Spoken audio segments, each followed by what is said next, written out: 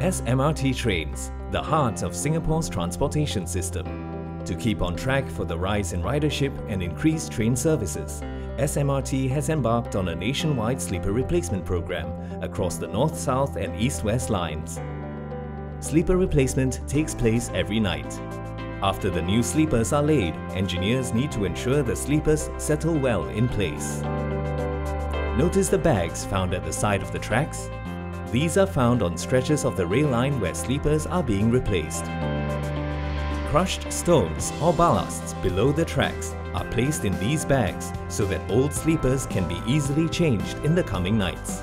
Speed restrictions are imposed at these stretches to ensure the safety of our passengers.